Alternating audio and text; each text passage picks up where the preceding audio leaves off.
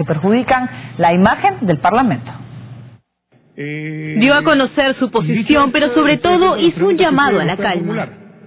El presidente del Congreso, Luis Iberico, se refirió a lo sucedido en la Comisión de Constitución cuando cinco congresistas de las filas de Fuerza Popular y Concertación Parlamentaria se retiraron de la sesión, frustrando así la votación del voto preferencial como parte de la reforma electoral.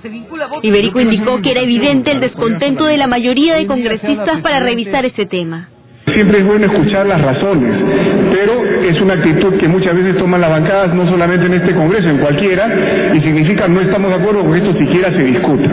Y lo que voy a hacer como presidente del Congreso es conversar con el presidente de la Comisión de Constitución, Fredo Tarola, para ver qué otros temas de reforma electoral, de reforma de partidos políticos, podríamos ver en lo que queda ya. A pesar de ello, indicó que el Congreso ha avanzado en la aprobación de medidas de la reforma electoral, a pesar de que aún quedan varias pendientes.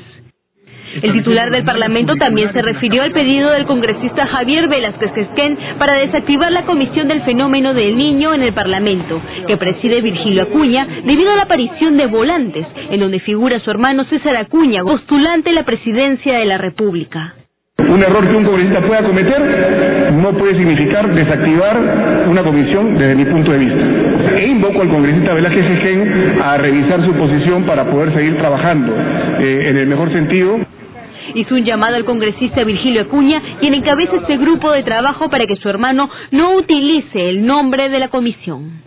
Por otro lado, envió un mensaje a los parlamentarios que protagonizaron una fuerte discusión en la Comisión de Fiscalización el día lunes.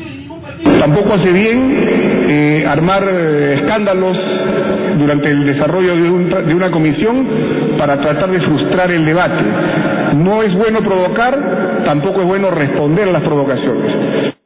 Iberico adelantó que en el pleno de este jueves se revisarán los informes de la Comisión de Ética y la próxima semana pondrán al voto los informes de levantamiento de inmunidad de los congresistas Heriberto Benítez y Víctor Crisólogo.